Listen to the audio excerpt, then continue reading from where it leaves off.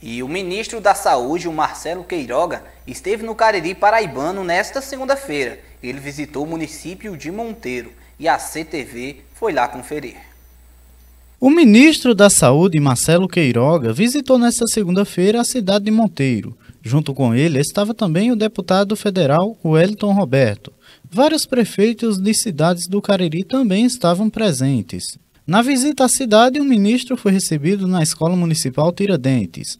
A professora que animava as crianças na escola estava ansiosa para o receber. Então, né, tá todo mundo ansioso aí para a presença do ministro, né? Sabemos que é um homem aí muito importante, né? E ele vai aí trazer informações de como tudo vai decorrer agora na expectativa das vacinas, né, que irão chegar aí à cidade. Então é de suma importância para a nossa cidade também.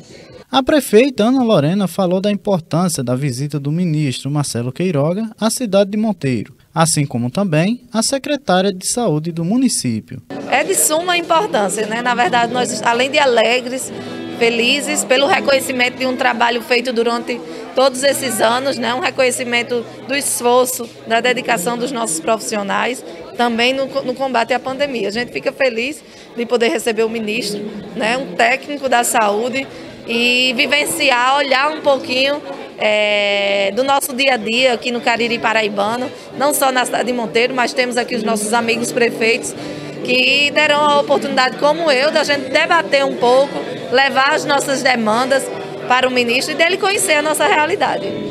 Muito importante, destacou na pandemia, nos municípios aqui na região, eles vêm fazer, fazer essa visita hoje para conhecer nossos serviços. Na entrevista coletiva, o ministro foi perguntado pela CTV sobre como é feita a fiscalização dos recursos que vêm para os municípios.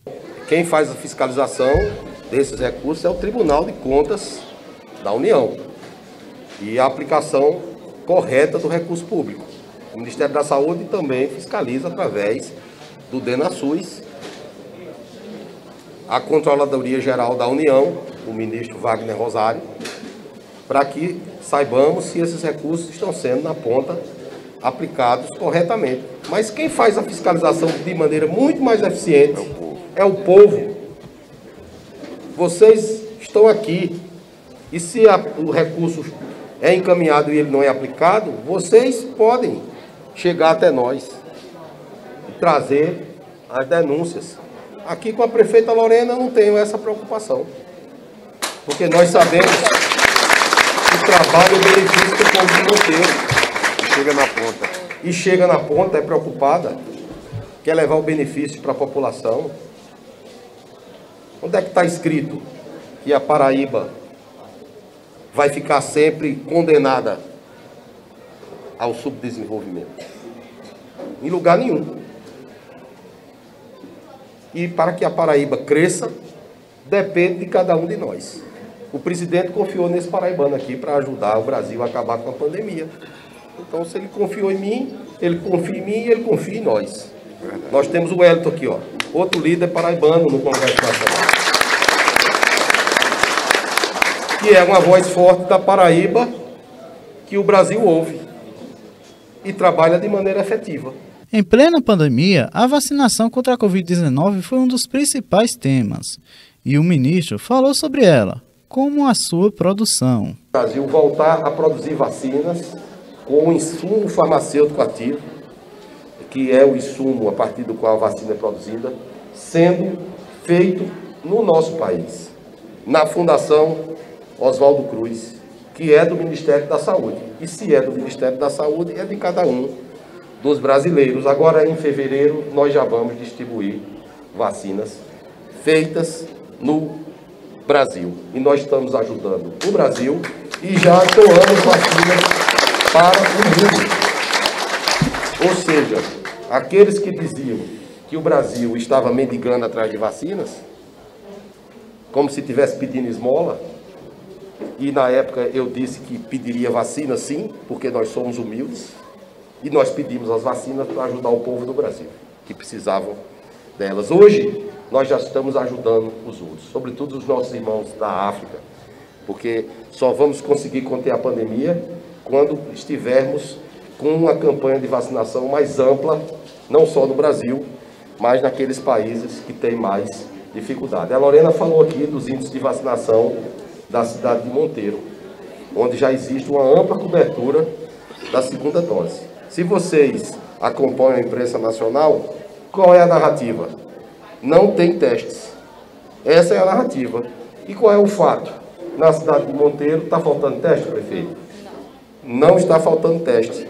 No mês de janeiro, nós vamos distribuir 28 milhões de testes rápidos. E agora, em fevereiro, nós já temos programado 7,8 bilhões, podendo ampliar. Onde é que está faltando teste? Na iniciativa privada. O Ministério da Saúde está fazendo a sua parte. E nesse período que eu estou no Ministério da Saúde, o que houve com os óbitos? Caíram 90%. Quantos óbitos aqui em Monteiro? 68.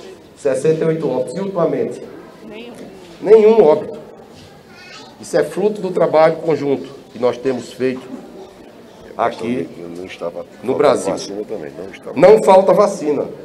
Nós distribuímos vacinas para os estados e municípios. 70 milhões. São, existem 70 milhões de doses de vacina com os estados. E os estados têm que fazer o que faz Monteiro, aplicar vacina.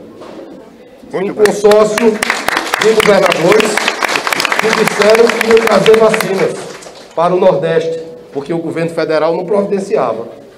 Recebeu alguma vacina desse consórcio? Vocês viram alguma vacina de um consórcio do Nordeste? Onde estão essas vacinas? Estão no espaço como era o nome da vacina que eles iam trazer. Não trouxeram uma dose de vacina.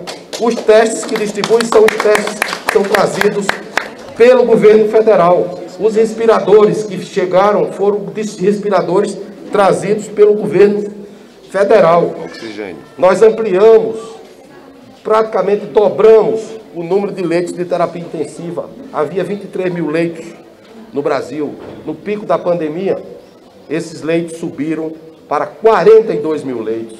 E agora, nós. Muito bem, aí né, um trecho da coletiva aí do Marcelo Queiroga, ministro da Saúde né, do, do, do Brasil, né, que em visita ao município de Monteiro.